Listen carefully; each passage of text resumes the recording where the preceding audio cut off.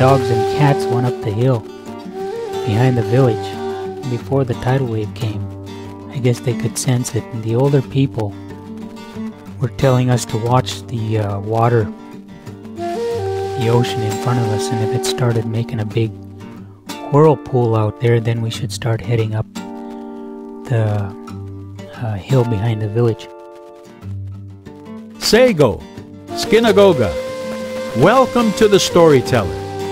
From the deserts of the southwest to the frozen tundra of the north, and all across this great land there are stories, true stories of First Nations people whose lives have been changed forever, who are following Jesus Christ without reservation. Join us now as we listen to The Storyteller. My name is Don Shugak. Was born in 1950 in a village called Old Harbor, Alaska, on Kodiak Island. Uh, I'm Sugpiaq from that area, which is uh, Aleut, uh, from the chain there. And uh, my mom and dad grew up in a village called Eagle Harbor on the island. And that village is uh, abandoned. If you were to fly over today, you would see uh, holes in the ground where uh, old barabaras were, the old mud houses that they used to have when they were growing up. They moved from Eagle Harbor to Old Harbor, where I was born. 1950, December I grew up uh, knowing what it was like to live in the ocean, live on the ocean, and li- live from the ocean. I was very young when I learned to hunt for seal and bear, go halibut fishing, get crab and clams, different types of mussels and sea urchin.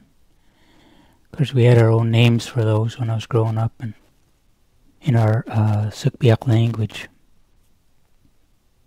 A lot of our culture was lost because of education and religion that came in, banning the uh, culture of the Aleut people down there. There were a lot of times, uh, even now that I miss that old type of life where you'd spend all the time in the woods and out on the ocean. Uh, kind of an ocean person. That's what the way I grew up. So I fished and I hunted off the ocean there. Summertime, we'd go out and get uh, seagull eggs in the springtime, you know, and harvest seagull eggs and crab. It was a neat, neat place to grow up missionaries came into Old Harbor when I was very young, and I think they were there before I was born. But my mom was the first one uh, that understood the message of the gospel, and she came to know the Lord in a village where, because of the uh, interaction between the uh, larger culture and our culture, there was so much turmoil and upheaval that were a lot of times when the village was, you could just call it dark, where uh, alcohol took over and all the abuse and all the domestic violence and neglect of children all all took place. And we were part of that. My dad would uh, also uh, drink and he would uh, there'd be a lot of violence when he did that. And so we grew up under that, like uh, just about every village in Alaska did. And so there were a lot of problems came out of the villages because of that. And we're battling that today. And we're trying to find answers to those things. And in my life, uh, found out that God is the only answer for that, and uh, He gives us the answers in the Bible. And a lot of times uh, we don't pay attention to it because we don't think it's real. because of how the gospel came into the world and, and into our world and our culture and and it came in such a way that uh, uh, just blew our culture away. And so there's a lot of bitterness toward uh, Christianity. But the truth in God's word is is what changes people. And that's what changed my mom's life. And uh, my dad's life eventually he came to know the Lord probably around 1959.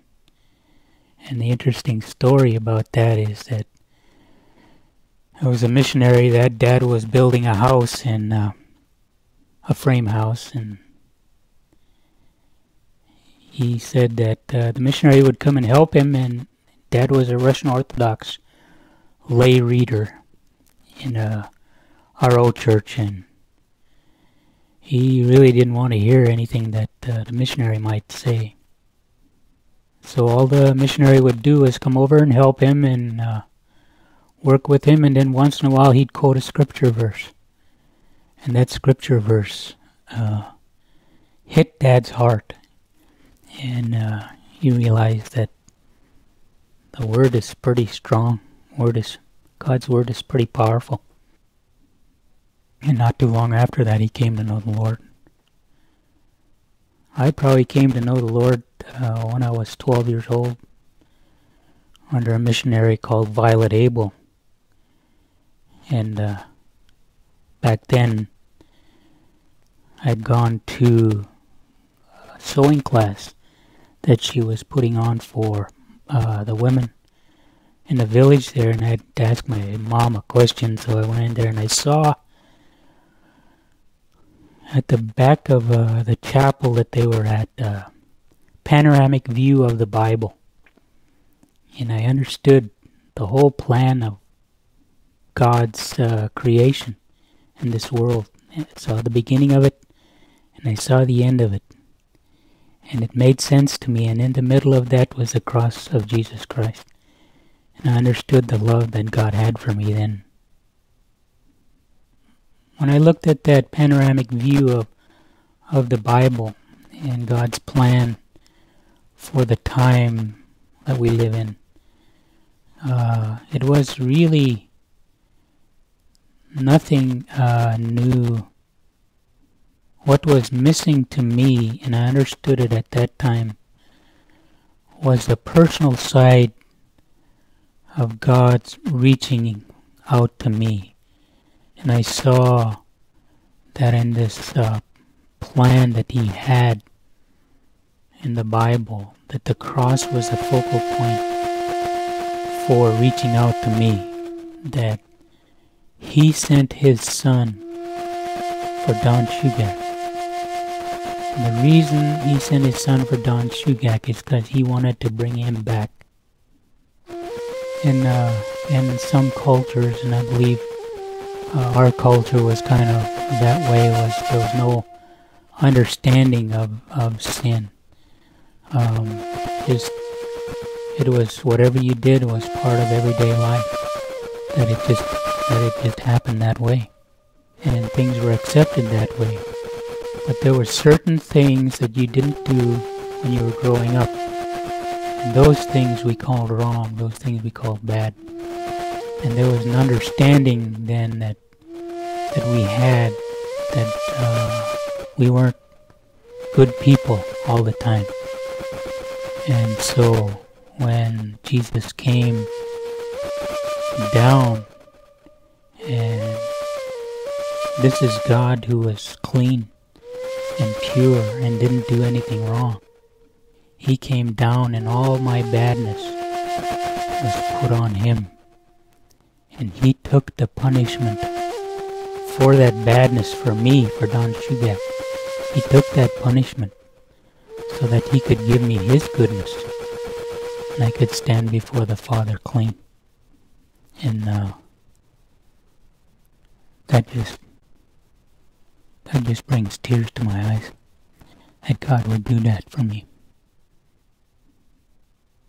What a profound thought that a God of all this creation everything that we see around us, this huge God, and, and you look at the universe, and Earth is such a speck in the rest of the earth, universe, and yet He sent His Son to die for Don Shugak and try to bring him back to himself. To me, that's a profound thing. If He could do that for me, I couldn't do any less but turn my life over to Him. So I did. I went back home and, and the Holy Spirit had been talking to me and, and I didn't understand it then. I didn't understand what I was doing, but I, I felt like I had to talk to God. So I went to my room and got on my knees and I asked God to come into my life and be a part of it. And I didn't understand then what, what I had done. But I could look back now and I'm 53 years old and I could look back now and see how God has led me all those years in my life. And it's been a it's been a ride with the Lord. Back in um, March of uh, 1964, the 27th of that month, we had a catastrophe hit the state of Alaska, and it was called the uh, biggest earthquake, I guess, that we've ever experienced up here. And it caused uh, uh, huge uh, devastation to the city of Anchorage and to the coastal communities because of the tidal wave that followed after. And I was part of that in the village of Old Harbor. The tidal wave came and uh, wiped out the whole village. Um, I remember when the tidal wave, the earthquake came, um, all the dogs and cats went up the hill behind the village before the tidal wave came. I guess they could sense it, and the older people were telling us to watch the uh, water, the ocean in front of us, and if it started making a big whirlpool out there, then we should start heading up the uh, hill behind the village. Well, we were a little too slow, and everybody started yelling that something was happening, and there was a village ahead of us called Kaguyak who had been hit first by the tidal wave. The first wave came through there, and then it was receding going back out. And three guys went down to a radio shack, which is how the villages communicated then. There was a radio shack, and it still was standing, so they called Old Harbor and told them that there was a tidal wave coming. When you meet your Creator, will you be at peace with Him? He wants you to be, so much so that He sent Jesus to be our peacemaker, to die for our wrongdoing and to bring us back to God. Listen to His words. Therefore, being justified by faith, we have peace with God through our Lord Jesus Christ if you're looking for peace with God, you must turn to Him and put your trust in Jesus, the one who saves us from our sin. Then you will know true peace and will be ready to meet your Maker. If you have any questions or comments about what you've heard, we'd enjoy hearing from you. You can phone us toll free at 877 766 4648. That's 877 766 4648. You can also visit us on the internet at withoutreservation.com. Thanks for listening. There's more to this story, so we hope you'll join us again next time as we listen to The Storyteller.